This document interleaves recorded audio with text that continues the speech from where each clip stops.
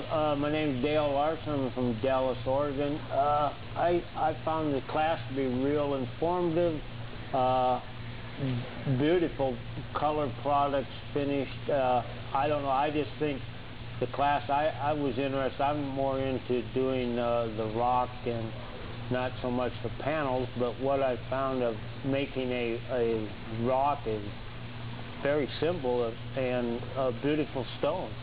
So I couldn't be happier with the class and what I learned, and uh, very educational.